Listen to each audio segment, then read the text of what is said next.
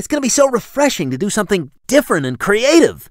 Really? What about being a pilot? That's just not a challenge anymore. These days, the autopilot does everything. Can I get you anything, Captain? You can get me some of this, Toots. Okay, I guess I'll just sit here and read a fucking magazine.